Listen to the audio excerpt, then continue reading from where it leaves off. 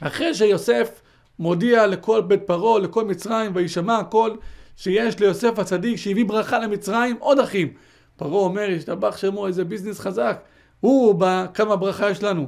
תארו, עכשיו אנחנו מביאים את אבא שלו ואת כל השבטים, איזה ברכה תהיה פה. איזה גיבורים אנשי חיל, אנשים חכמים. כמה, כמה חכמים יכולים לבוא פה להרים את מצרים עוד יותר. מה עושה יוסף? מפגיש את פרעה עם יעקב אבינו. מה קורה במפגש בין יעקב לפרעה? פרעה שואל את יעקב אבינו שאלה פשוטה. מה הוא שואל אותו? כמה ימי שני חייך? כמה, בין כמה אתה שואל פרעה את יעקב אבינו? מה עונה יעקב לפרעה? ויאמר יעקב אל פרעה, ימי שני מגוריי שלושים ומעט שנה. מעט ורעים היו ימי שני חיי, ולא השיגו את ימי שני חיי אבותיי בימי מגוריהם. ויברך יעקב את פרעה, ויצא מלפני פרעה. רבותיי, כל בן אדם, טיפה שכל שיש לו בקודקוד, מה הוא שואל? התורה הקדושה אומרת, יעקב נפגש עם פרעה. פרעה שואל אותו, בן כמה אתה? מה צריך להגיד יעקב? בן 130. מה אומר יעקב? אל תשאל, אני בן 130, מעט ורעים חיי, כמה ייסורים, כמה סבל סבלתי, אל תשאל, לא השיגו שנה חיי, חיי אבותיי. מי שאל אותך מה עברת, איזה ייסורים, איזה צרות, איזה... מי שאל אותך את השאלה הזאת? שאלתי אותך, בן כמה אתה? יש כאלו תמיד מתלוננים, להבדיל, כן? יעקב אבינו זה קודש קודשים. תמיד, בן כמה, אל תשאל, איזה בעיה. מה יעקב אבינו? יעקב אבינו זה רגל הרביעי למרכבה, רגל השלישית למרכבה, קודש קודשים יעקב אבינו. הדיוקה שלו חקוק בכיסא הכבוד, יעקב אבינו. מה הוא אומר לו? מה הוא מספר לפרעה? מעט ורעים, שני חיי. בשביל מה הוא אומר את כל זה? צריך לדעת רבותיי, יסוד גדול ביותר, שיעקב אבינו זכה למדרגה הגבוהה ביותר מכל האבות הקדושים. למה? הארי הקדוש כותב את זה, מתייחס לשאלה הזאת, בשער הפסוקים עמוד צדיק ו' ועמוד צדיק ז'. תשמעו רבותיי, איש אלוקים, רבי יצחק דנוריה אשכנזי. צריך להבין מה עניין קריאתו אותם מעט ורעים. אומר רבנו הארי, והעניין הוא דע, כי האדם הראשון התגלגל בשלושה אבות, ולכן נקראים אבות. למה נקראים אבותינו אברהם, יצחק ויעקב, האבות הקדושים? אלוקי אברהם, אלוקי יצחק ואלוקי... למה נקראים אבות? אומר רבנו הארי הקדוש על שם האבא הראשון, שזה האדם הראשון. והנה התבהר בספר התיקונים, תיקון ס"ט ועין, נפשו של אדם הראשון התגלגלה באברהם, רוחו התגלגלה ביצחק, ונשמתו, איפה היא נתגלגלה? אומר רבנו הארי, מבואר בזוהר, שנשמתו של אדם הראשון התגלגלה ביעקב אבינו. וגם עוד התבהר, בראיה ממנה פרשת קדושים, אברהם תיקן עבודה זרה, יצחק תיקן שפיכות דמים, ויעקב אבינו מה הוא תיקן? גילוי עריות.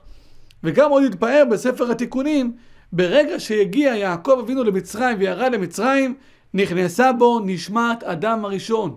תשמעו רבותיי, איזה סוד גדול, עצום, איום ונורא. אומר הארי הקדוש, רבי יצחק דלוריה אשכנזי, קודש הקודשים. ידוע שהאדם הראשון פרש מאשתו, נשב בנהר גיחון, אומרת הגמרא, 130 שנה. 130 שנה ישב אדם הראשון בנהר גיחון עד שאלה כל גופו ירקת. באותם 130 שנה אומר רבנו ארי, מה קרה? באו נעמה ולילי וחיממו אותו והוציאו ממנו טיפות זרע.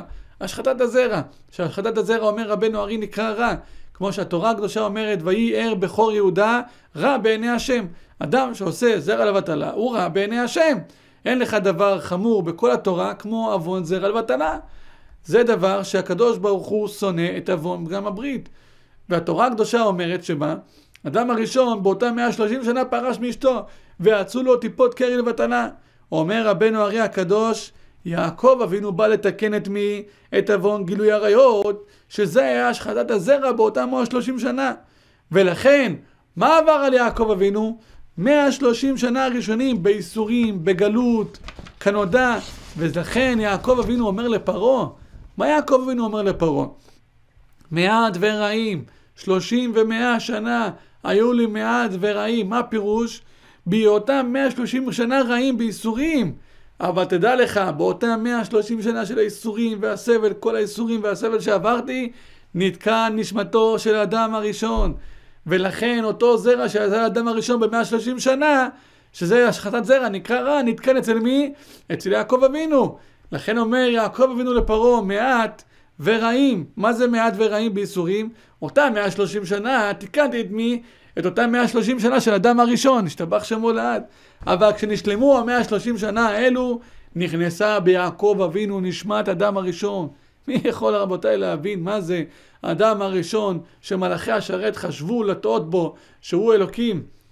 מלאכי השרת חשבו שהאדם הראשון זה אלוקים, למה? הוא היה ענק. כל העולם כולו, הגמרא אומרת, היה חלותו של עולם אדם הראשון. עד שויפל אלוקים תרדמה על אדם, טעו לחשוב, שמלאכי השרת טעו לחשוב שהוא כביכול אלוקים. נעשה אדם בצלמנו כדמותנו. יעקב אבינו רבותיי תיקן את מי? את אדם הראשון. כמה סבל וצרות ובייסורים עבר יעקב אבינו. כל זה למה? כדי לתקן את חטא אדם הראשון שהיה לו באותם 130 שנה. אחרי שיעקב אבינו מתקן את המאה ה-30 שנה, מיד מה מתחיל להיות? מתחיל להיות טוב בחיים של יעקב אבינו. אומר רבנו ארי, כיוון שהוא תקן את המאה ה-30 שנה, מה התורה הקדושה אומרת? ויחי יעקב בארץ מצרים 17 שנה. למה? כי כבר נכנסה בו נשמת אדם הראשון. וזהו ויחי יעקב. כמה זמן יעקב אבינו חי עוד? 17 שנה. 17 בגימטריה זה טוב. למה? כיוון שנתקן הרע של אדם הראשון, ויעקב אבינו תיקן את חטא אדם הראשון, השתבח שמו לעד, מתחיל להיות טוב, מתחיל לבוא טוב. זה רבותיי, יסוד גדול ביותר. אנחנו רואים פה, מה זה בא להגיד לנו, יעקב תיקן את אדם הראשון, אברהם את מה, את החטא של מה, של עבודה זרה, יצחק שפיכות דמים, יעקב אבינו גילוי הרי... מה זה בא להגיד לנו, רבותיי, כל המסר הזה? אדם שיש לו טיפה מוח בשכל וטיפה אמונה בקרבו, הוא אומר, תראה מה זה. 130 שנה יצא לאדם הראשון טיפות קרי. כמה סבל וצרות, כל הסבל שאנחנו נדבר על זה בשובבים בעזרת השם, הכל בגלל טיפות קרי. כמה תיקונים ואיסורים צריך לעבור בשביל לתקן את מי? את אדם הראשון. יעקב אבינו תיקן את כל זה 130 שנה, מעט ואיסורים, השם מרחם, מעט ורעים היו מחייו. למה? לתקן את הטיפות קרי. קל וחומר, בנו של קל וחומר, שאדם חס ושלום עושה זרע לבטלה, פגם הברית, חוסר צניעות אצל בחורה. איזה דבר רע זה רבותיי. לכן כל האיסורים והצרות שבאים על אנשים, מאיפה זה בא? מעוון פגם הברית, בחוסר צניעות. אנשים רבותיי לא מבינים את זה. אבל אם בן אדם מסתכל בפסוקים פה, מה שמלמד אותנו יעקב אבינו, שרבנו הרי מסביר, למה יעקב אבינו אומר לפרעה, מעט ורעים, למה? בגלל שאני צריך לתקן את מה? את החטא של האדם הראשון בגילוי עריות. תראו כמה סבל וצער וייסורים צריך לעבור מה? בשביל לתקן את מה? את החטא של גילוי עריות. אדם חכם, אישה חכמה, מה יעשו? יתחילו לתקן את זה, לשמור על זה, כי זה רבותיי הדבר הטוב ביותר שמתחיל האדם לשמור על ברית הקודש, מה קורה? ויחי יעקב, פתאום האדם ברגע שהוא מתקן את הברית, יש לו טוב בחיים, טוב בחיים, בנשמה שלו, בחורה הולכת בצניעות, מתחיל להיות לה שכינה על החיים שלה, על הנשמה שלה. זה רבותיי המוסר ההשכל שלומדים בנקודה השנייה.